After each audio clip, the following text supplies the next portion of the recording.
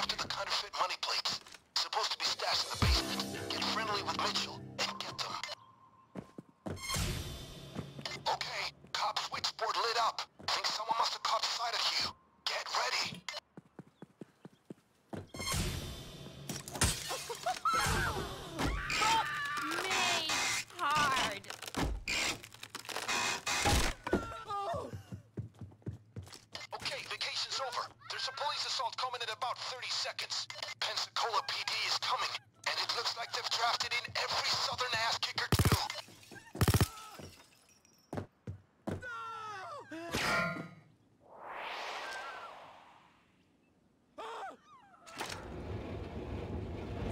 here.